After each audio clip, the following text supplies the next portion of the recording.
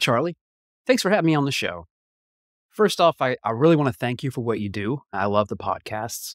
Right now, there's so much glorification of this plant going on with little thoughts to the side effects, which might be present for a good portion of the people that get stuck in that routine of taking it over and over again. Making these stories heard is equally as important as those that might see positive effects. There needs to be an equal representation of what's going on with the vending of this plant regarding to regulations or standards beyond even what these kratom consumers protections might require. It's important to note that when I discuss the pharmacology and risks associated with kratom, I'm speaking about the plant and its active compounds in a general sense, the chemicals themselves. Beginning with a little history and use, kratom has been used historically for several hundred years by field laborers in Indonesia, Thailand, and other Southeast Asian countries. They would chew the leaf of the tree to increase stamina, working out in the hot sun. And uh, I see many vendors online claim that there's been millennia of safe consumption. However, there's just not enough evidence really to be able to support that in any way. Uh, there, centuries, yes. Millennia, nah, I can't really say that that's, you know, we don't have that hard evidence to, to say that there has been consumed for millennia. It's a tropical tree. It's scientifically known as Mitragina speciosa. And uh, I might be butchering that name, but I, I've heard it pronounced several ways. I think it rolls off the tongue easier saying it Mitragina speciosa, especially when you get into its metabolites and its active ingredients. You'll see in a moment. Its leaves contain compounds that interact with the human body in some pretty interesting, complex, but uh, also a little concerning ways. So let's dive into the pharmacology just a little bit.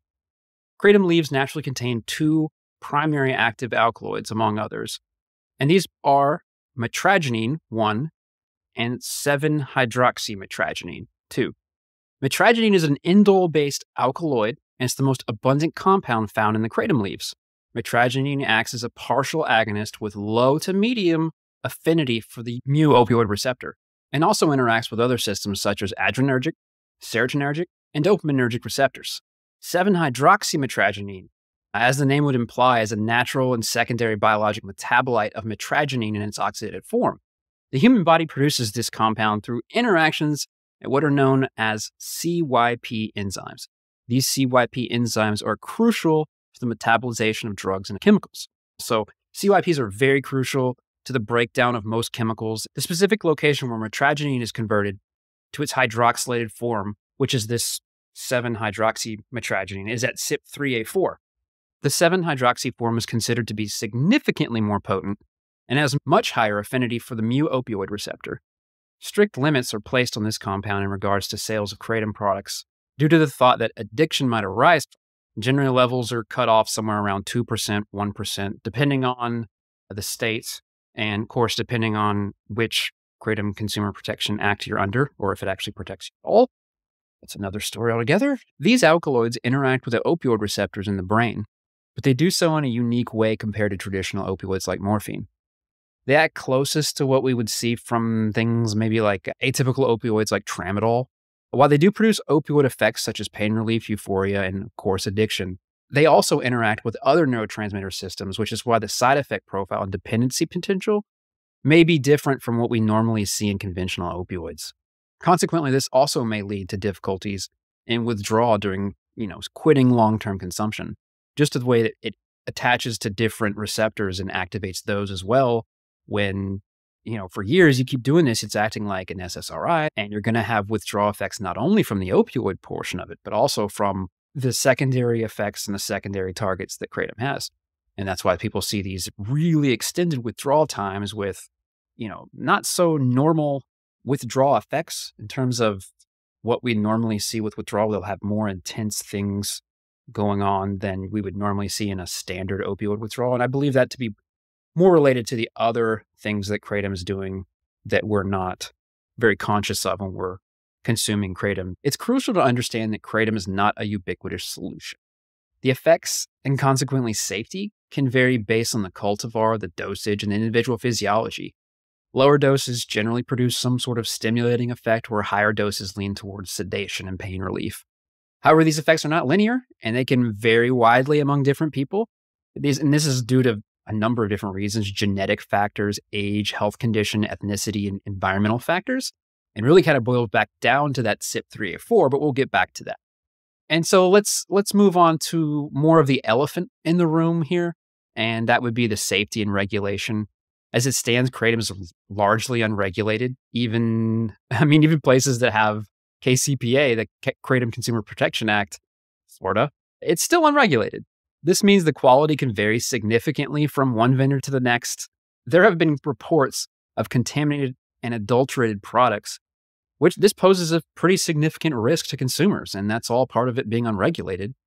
However, we should take note here that the adulterated products are their own separate category of issues to address, and that's not one that we'll be addressing here. I don't believe I'm not speaking about anybody adulterating products, so that's separate issue. Moreover, uh, while some people claim to have positive experience using kratom for pain management and opioid withdrawal, there are also numerous reports of adverse effects. These can range from mild symptoms like nausea and constipation to more severe issues like addiction, you know, seizures, that's a big one, organ dysfunction, liver toxicity, cardiotoxicity.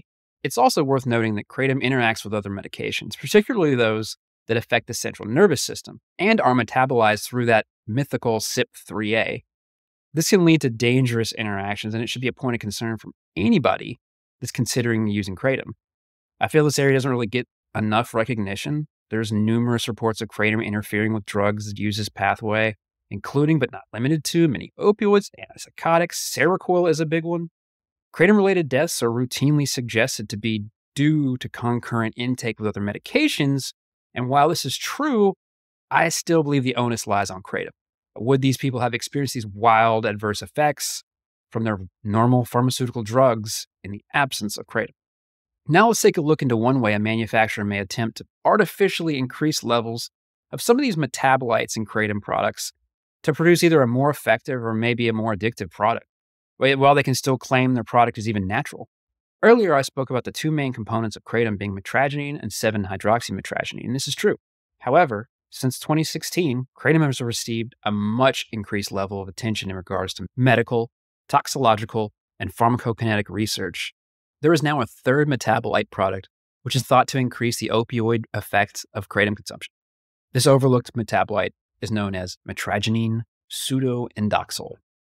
And we're going to talk a little bit about that. Mitragynine pseudoindoxil is an extremely potent metabolite, and that originates from 7 hydroxymitragynine, itself being a byproduct of mitragynine. So you can see how we're stepping down here. You've got mitragynine and you've got 7 hydroxymitragynine. And now we're looking at mitragynine pseudoindoxil as the next product.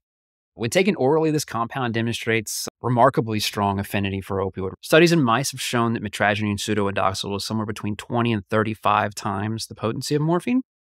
And given these findings, I think it's clear that this compound has significantly greater ability to activate these specific receptors involved in opioid consumption.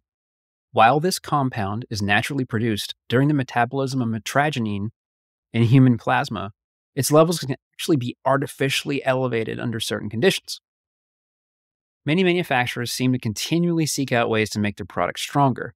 One way of artificially causing this is by increasing the levels of mitragynine pseudoindoxil simply by way of fermentation. It's known that fermentation of kratom increases the levels of this chemical, and believe it or not, this has been known since the 1970s. Some manufacturers call this chocolate kratom, and users report more of a painkiller like effect, likely indicating more activation of those opioid receptors in these users. It's worrying that manufacturers may capitalize on this, either knowingly or unknowingly. They're essentially creating a far more addictive product when they look to increase these levels of this chemical.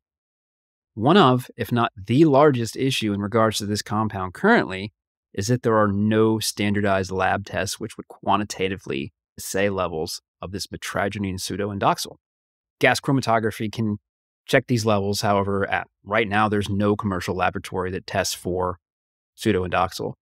So while kratom has a reasonably long history and some promising potential benefits, especially medically, on the drug side, that there are some scaffolding there with the mitragynine and its metabolite forms that can be probably pretty useful. The the metabolites of tr- mitragynine are far more likely to recruit G protein instead of B arrestin when they're activated, when, when your opioid receptors are activated. So it's less addictive. And that's, I put less in quotation marks there because less is quite uh, relative there. It's essential to approach this with all caution as we continue to uh, uncover more. The lack of regulation and standardization makes it much of a Wild West scenario, where consumers are required to be their own best medical advocates. Considering the fact that many vendors are moving towards a more predatory style of sales and advertising, misinformation and misdirection abound. If you're considering trying Kratom, please don't. If you're on Kratom and wish to quit, see the links that Charlie provides here or talk to your primary care doctor because they can use Google Scholar as well to figure out what's going on if they don't know. I suggest we no longer contribute to the bank accounts of big businesses hell bent on taking every last cent from their customers. Thank you, Charlie. Thanks for giving me the platform to discuss this little topic regarding the uh, complex and often misunderstood plant. I hope this provides a view that helps your listeners.